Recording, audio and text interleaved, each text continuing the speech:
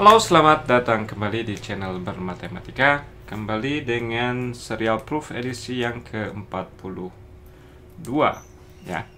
Ah, pada kesempatan kali ini kita akan membahas tentang teorema binomial ya, tapi yang akan kita kaitkan dengan apa yang disebut dengan segitiga Pascal atau segitiga Khayyam kalau di Iran atau di Cina segitiga Hui, di India ada lagi namanya tersendiri, di Italia namanya segitiga Tartaglia dan lain sebagainya. Ya. Tapi biasanya kita mengenalnya sebagai kita mengenalnya sebagai segitiga Pascal populernya ya untuk kita. Segitiga Pascal itu seperti apa?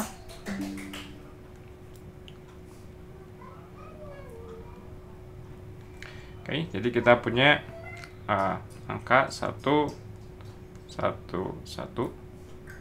Jadi di bagian luar segitiganya semuanya angka 1. Kemudian untuk mendapatkan angka di level berikutnya selain angka 1 ini kita dapatkan dari level yang sebelumnya. Jadi misalkan ini satu ini ditambah satu ini sama dengan dua, jadi kita simpan dua di sini.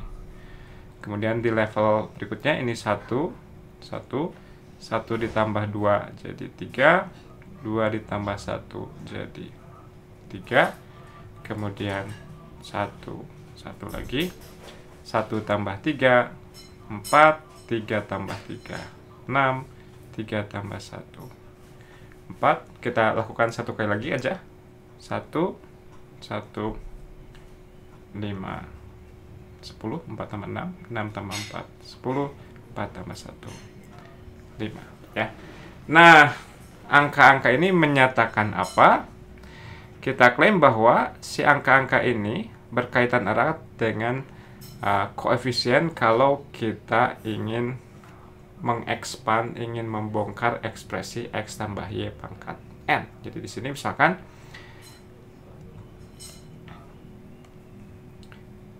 x tambah y pangkat 1 itu sama dengan 1x ditambah 1y dengan x ditambah y kuadrat sama dengan seperti bisa kita tebak 1x kuadrat tambah 2xy tambah 1x 1y kuadrat ya.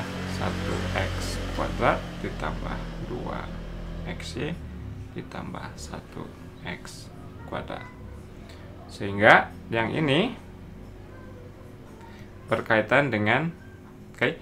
Mulai level satunya yang ini 1 2 3 4 5. Jadi ini adalah koefisien-koefisien dari ekspansi x tambah y pangkat 5 ya. x tambah y pangkat 5 nantinya akan sama dengan x pangkat 5 ditambah 5x pangkat 4y ditambah 10 x 3 y kuadrat ditambah 10x kuadrat. Y pangkat 3 ditambah 5x y pangkat 4 ditambah y pangkat 5 ya. Nah, tapi uh, bagaimana cara kita membuktikan bahwa ini akan selalu jalan ya? Bahwa uh, level ke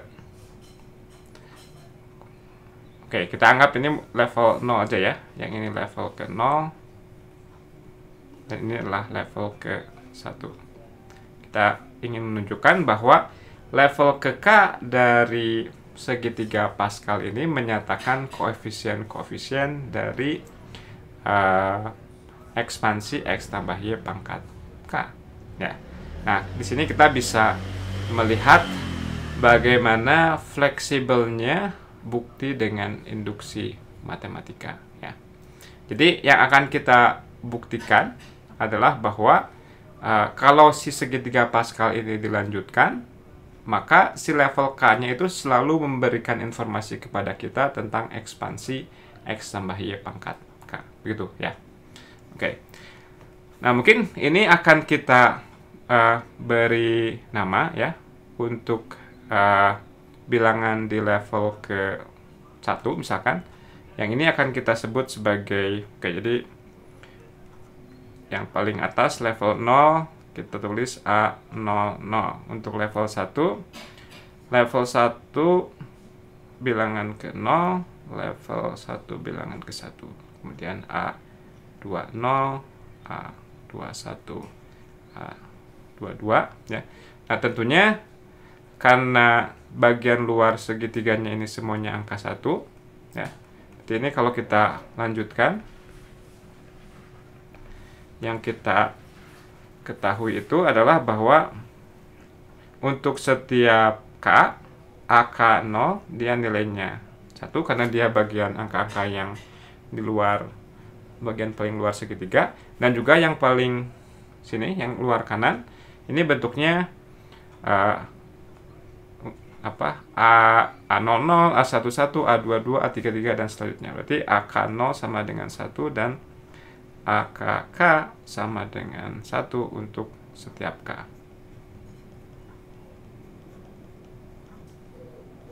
Oke. Nah, kemudian apalagi yang bisa kita lihat? Misalkan di sini kita lihat. Ini misalkan A30 nih ya. Yang berikutnya di sini adalah A31. Dan ini adalah hasil penjumlahan A20 dengan A21. Oke. Jadi secara umum kalau kita menjumlahkan dua bilangan yang berurutan pada level sebelumnya, kita akan mendapatkan bilangan di level berikutnya. Jadi kita punya hubungan AKI pada level ke K dan urutan ke I ditambah dengan AKI plus 1 ya. Ini sama dengan bilangan yang ada di bawah, yang ada di level berikutnya, tapi urutan yang ke sama dengan urutan yang ini ya. Oke sama dengan A K tambah 1 I tambah 1 tuh ya. Jadi inilah uh, sifat yang bisa kita abstraksikan dari segitiga Pascal nah yang ingin kita tunjukkan adalah bahwa klaimnya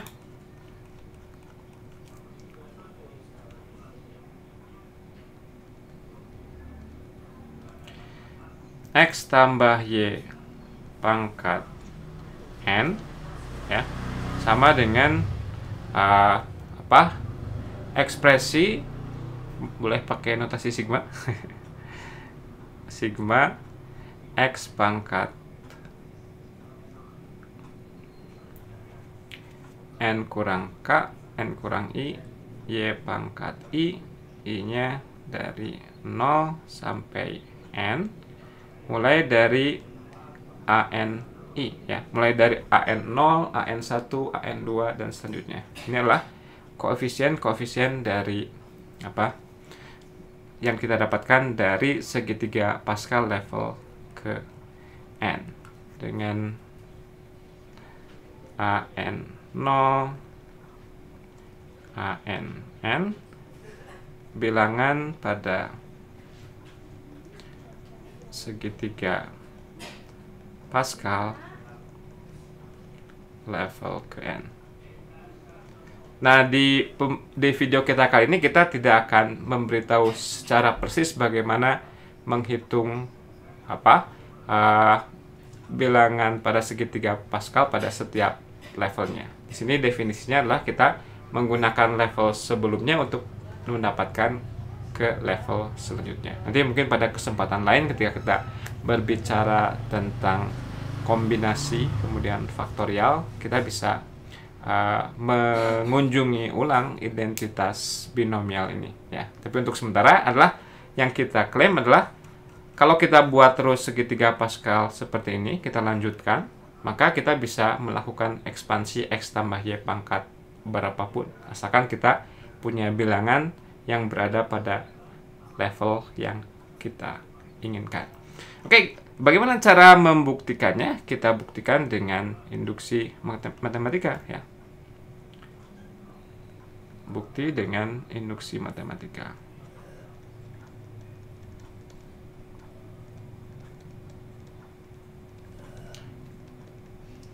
Untuk X tambah Y pangkat 1 ya ketika N-nya sama dengan 1 Tentu ini sama dengan X ditambah Y. Dan ini persis sama dengan A01 X ditambah A11 Y. Karena kita tahu tadi menurut apa kesepakatan untuk setiap K AK0 itu oh ini kayaknya kebalik nih sebentar tadi saya nulisnya gimana? A. Gimana? AK0 ya. Oke berarti ini harusnya ini A10 ya. oke. Oke jadi si AK0 nilainya selalu satu berarti khususnya A10 ini sama dengan satu dan A11 ini sama dengan satu juga. Berarti pernyataan benar ketika uh, N sama dengan satu ya asumsikan benar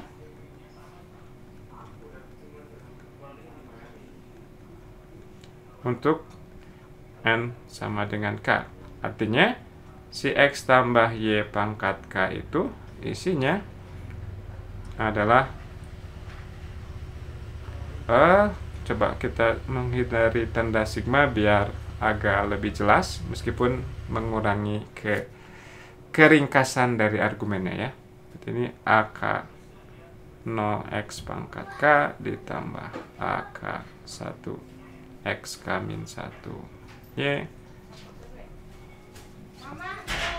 AK kamin 1 X pangkat A. Pangkat 1 Y pangkat kamin 1 ditambah AKK GK ya.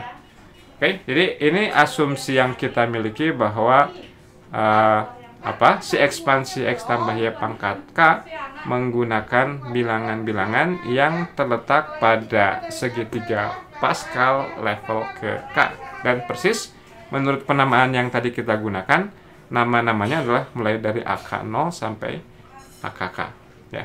Nah, sekarang bagaimana untuk n sama dengan k plus 1?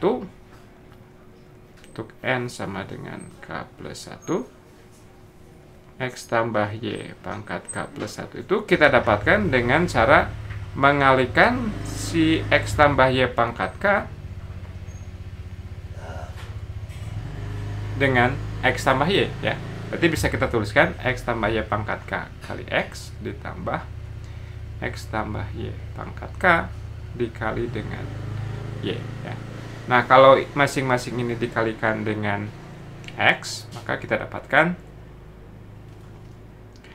uh, A K0 X K plus 1 ditambah AK1 XK Y ditambah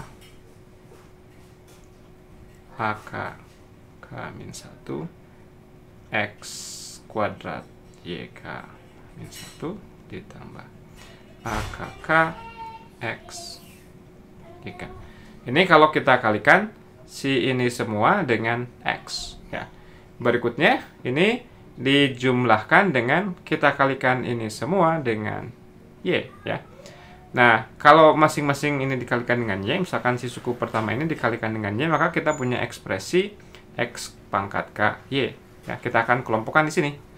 Oke, jadi kalau dikalikan, untuk yang level keduanya, ini jadi AK0 XK Y dot yang ini dikalikan Y jadi uh, X Y pangkat K ya. X pangkat Y pangkat K di sini harusnya ya. Jadi ini mungkin di sini A uh, sorry kita kalikan dengan Y ya dengan Y berarti kalau ini dikalikan dengan Y hasilnya adalah X kali Y pangkat K. Sama dengan di sini x y pangkat jadi ak k min 1 x y pangkat k ditambah yang terakhir akk y pangkat k plus 1 ya. Nah ini semua kita jumlahkan ya. Kita jumlahkan. Ingat si AK0 itu semua bilangan yang paling kiri dia sama dengan satu. Jadi ini sama dengan satu dan bilangan yang paling kanan dia juga sama dengan satu ya. Oke. Nah, kemudian ini di sini juga ada sebetulnya. Di sini adalah berarti uh, apa? Satu suku sebelum ini AK K-2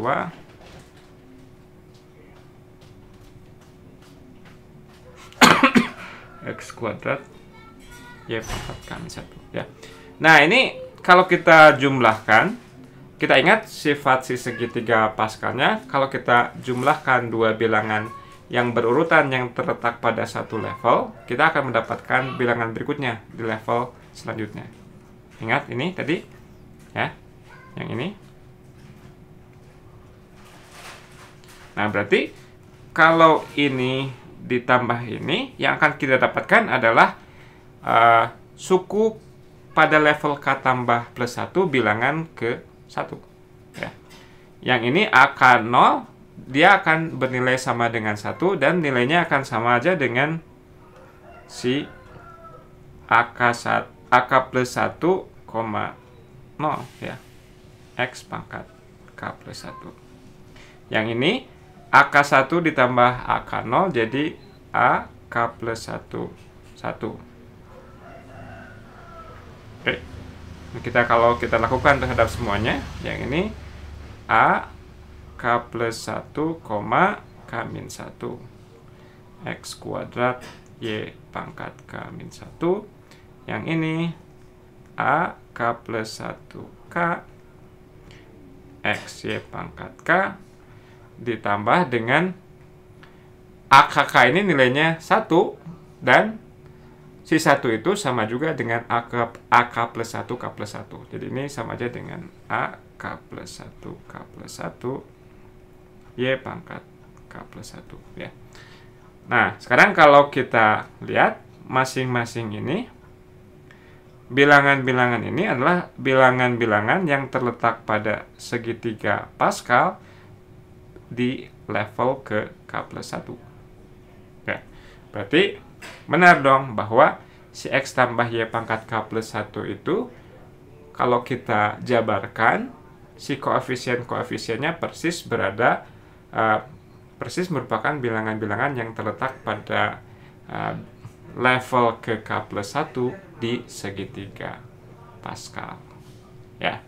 Nah, berikutnya uh, lain kali mungkin entah kapan ketika kita banyak berbicara tentang uh, apa kombinatorik nanti akan kita tunjukkan bahwa si a k, n ini nah ini akan sama dengan K cus N ya atau mau apa di sini? Mau I